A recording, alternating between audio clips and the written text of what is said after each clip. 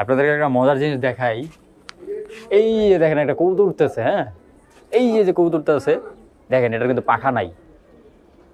পাখা নাই, একদম পাখা নাই, পাখা কাটা। এটা হচ্ছে আমাদের আবলক কবুতরটা। আসসালামু আলাইকুম, কে অবস্থা সবার? কেমন আছেন? আশা করছি সবাই খুব ভালো আছেন। ছাতা ধরে আছি, কারণ হচ্ছে বৃষ্টি হচ্ছে অলরেডি আর সকাল থেকে প্রচণ্ড পরিমাণে বৃষ্টি হয়েছে, আর এর জন্য আমরা আমাদের কবুতরগুলো ছাড়ছি। আপনারা জানেন যে মোল্টিংয়ের সিজনটা এখনও চলতেছে। তো যে কারণে যেই যে কবুতরগুলো ভিজাইতে পারতেছি না, এগুলোকে আমরা ভিজায় ফেলতেছি ঠিকঠাক মতো। আর আজকে আমরা মেল কবুতরগুলো ছাড়ছি। এই যে মেল কবুতর খোলা আছে, দেখেন।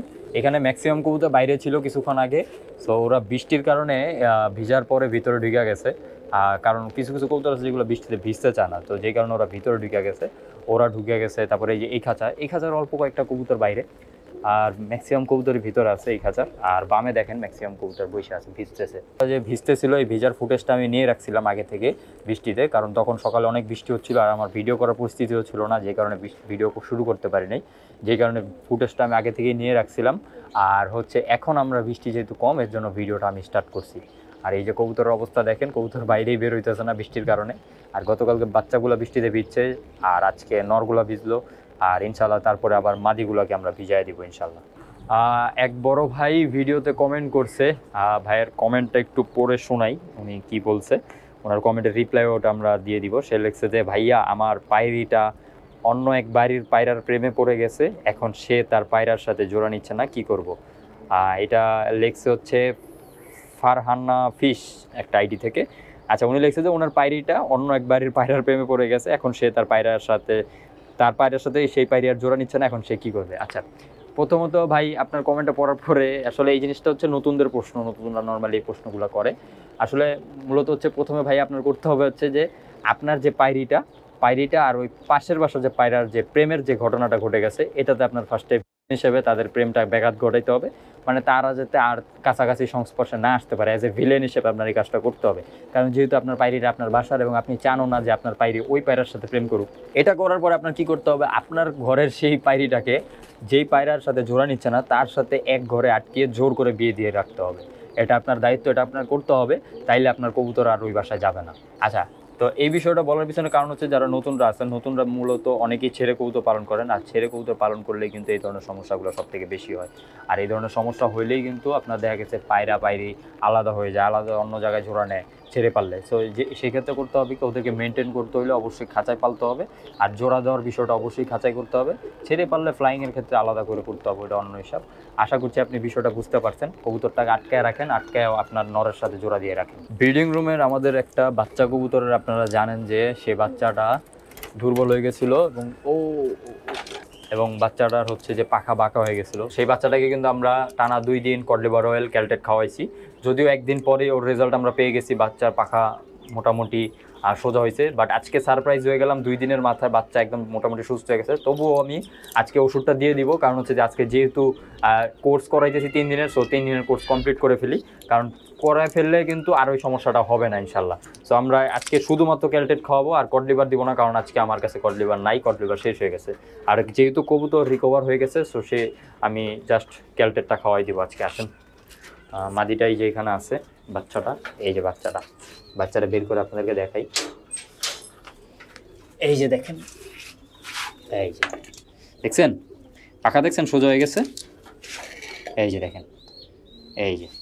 পাখা একদম সোজা গেছে মার্শাল্লাহ সো রিকভারটা খুব সুন্দরভাবে হয়েছে। সো চলেন আমরা ওকে ক্যালটেট খাওয়াই দিই। আমরা এই একটা ক্যালটেট খাওয়াই দিব।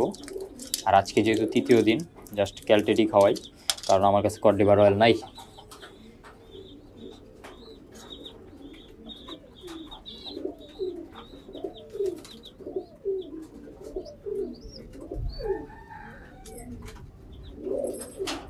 ওকে ডান আমার কৌতুকে খাওয়ানো হয়ে গেছে।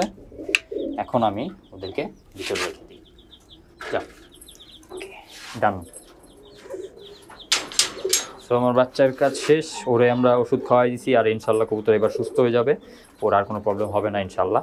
আর আমাদের এই দিকে অন্যান্য কবুতরগুলো বৃষ্টির মধ্যে একটু কুকড়ায় আছে, কারণ ভিতরে একটু ঠান্ডা ওয়েদার যে কারণে কবুতরগুলোর একটু ড্রপিং সমস্যা হতে পারে। আর আজকেও আমরা কবুতরের গ্রিড দিয়ে দিব।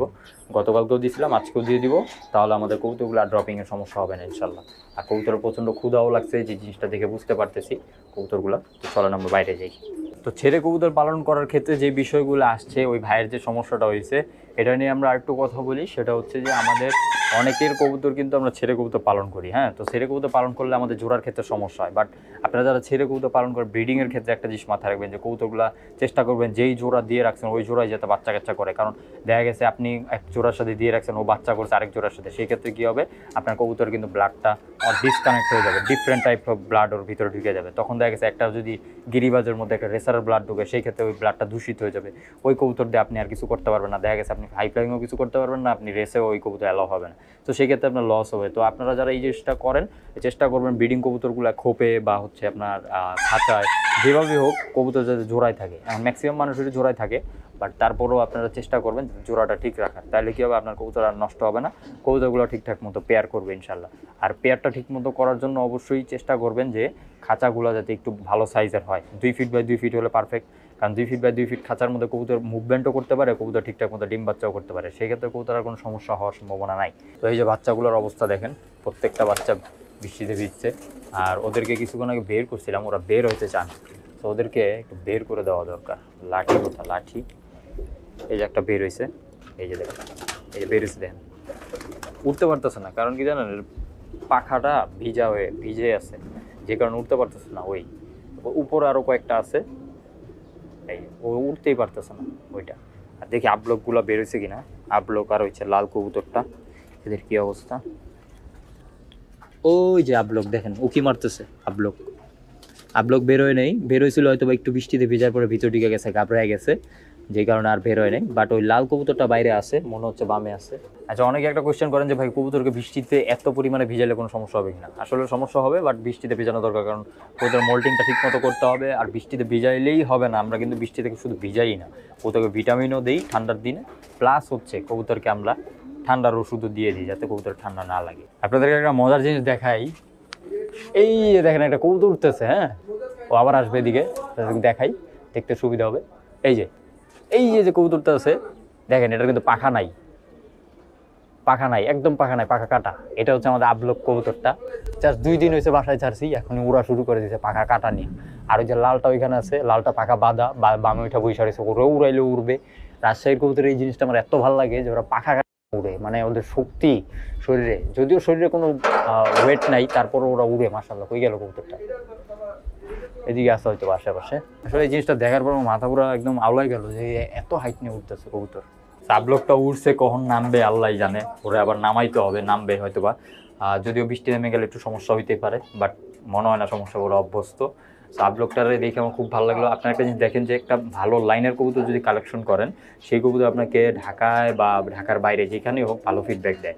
এখন আপনারা বলতে পারেন যে, একটা ভালো লাইনের কবুতর কালেকশন করলাম ঢাকার বাইরে গিয়ে অসুস্থ হয়ে গেল বা ঢাকার ভিতরে আইসা উঠল না, এই ধরনের জিনিসগুলো আসলে কি কবুতরের উপর ডিপেন্ড করে? আপনি ভালো কবুতর কালেকশন করতে পারলে সেই কবুতর আপনাকে যে কোনো পরিস্থিতিতে ফিডব্যাক দিবে। যেমনটা এই আপলোকটা দিতেছে, আপনারা হয়তো বা দেখতে পারতেছেন জিনিসটা দেখাইছি।